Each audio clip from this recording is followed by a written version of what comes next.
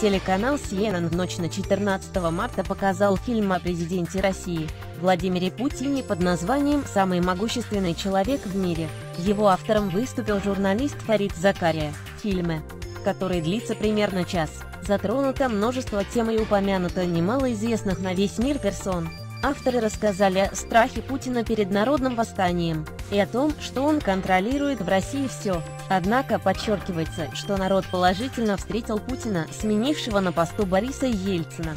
По мнению Закарии, Путин считает развал СССР величайшей трагедией по той причине, что 25 миллионов русских людей в одночасье оказались за границами России. Главными темами фильма также стали не только прошедшие в США президентские выборы и события в России начала нулевых, по версии автора. У Владимира Путина могут быть основания подозревать Хиллари Клинтон в организации массовых беспорядков в России в 2011 году. Пресс-секретарь Кремля Дмитрий Песков намекнул на предсказуемость американских СМИ на фоне анонса фильма телеканала CNN на Владимире Путине. По мнению Майкла Макфола, президент Российской Федерации Владимир Путин установил в России такую систему с опорой на одного харизматичного лидера, что ее не сможет продолжать никто другой.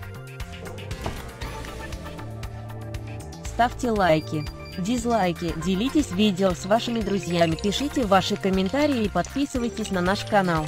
Будьте в курсе последних новостей.